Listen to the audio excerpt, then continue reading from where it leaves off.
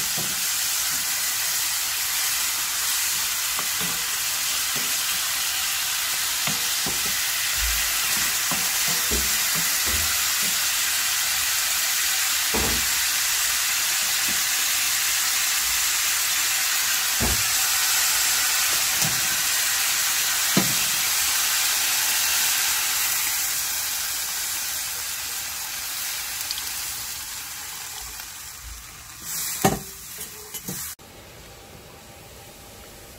对。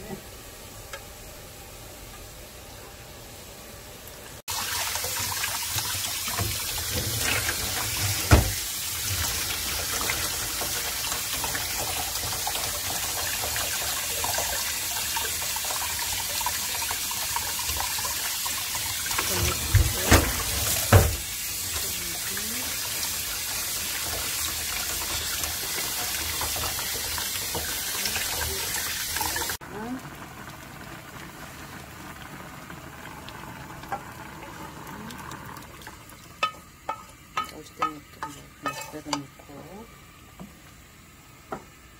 그랬지 이거 잠깐만 이거 생각 너무 풀어지니까 그냥 넣어야지 응.